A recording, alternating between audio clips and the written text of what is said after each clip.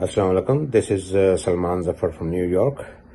Uh, I just wanted to uh, share something uh, that our uh, elected officials in uh, New York, how they get involved with the parties, I mean, the, with the public.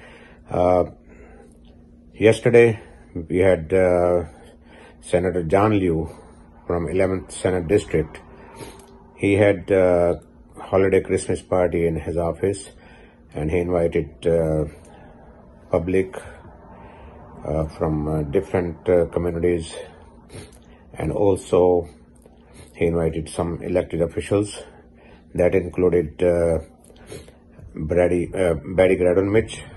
He's from uh, 23 district. He's a councilman in Queens.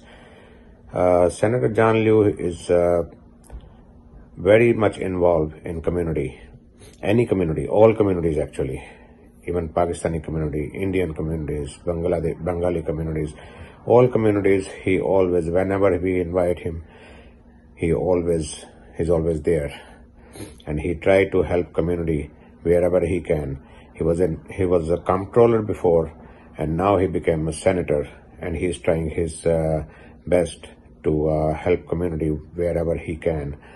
Uh, same with uh, Barry Grodenchik. He uh, he always he's always with the community. He uh, try to help whatever he can.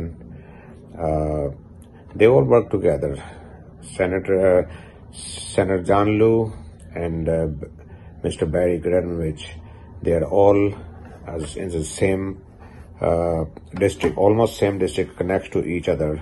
11th district, Councilman Barry Grodenchik, and uh, I mean uh, 23 district, and 11th 11th uh, Senator Senate district is John Liu. Very nice party, Christmas party he had. Everyone enjoyed. Looking forward to get more parties from him.